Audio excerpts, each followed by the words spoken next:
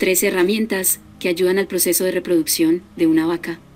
En los procesos reproductivos se implican cuidados en el después y el antes, porque cualquier error pone en una situación de riesgo a la madre y la cría.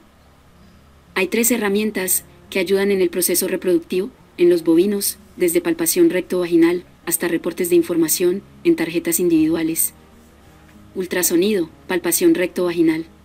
Puede realizarse por medio de palpación manual con la mano o por avances tecnológicos como ultrasonidos.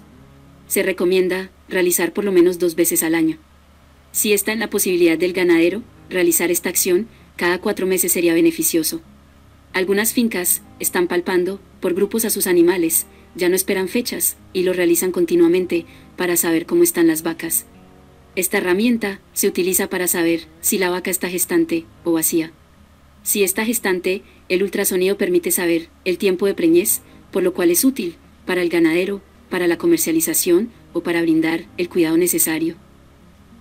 El seguimiento después del parto.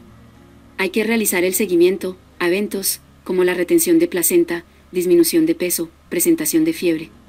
Esto es importante realizarlo después de cada parto, ya que es indispensable saber y evaluar las condiciones del animal, para que la vaca pueda preñarse sin ninguna dificultad posteriormente. Por cada animal. Es indispensable que las tarjetas sean individuales para saber el historial de cada animal. Esto nos permite tener acceso a información como qué fecha se preñó por primera vez, fecha primer parto y condición corporal.